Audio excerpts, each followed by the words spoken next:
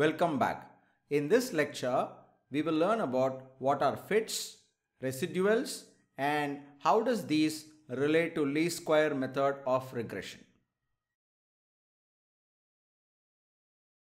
If you zoom and look at the line that we had fitted either using Minitab or using Excel, the individual points which are scattered on the scatter plot and the line which has been fitted, you would find that not all the points in the scatter plot sit on the line.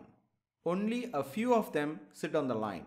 The remaining are either above the line or below the line as you see on the screen here.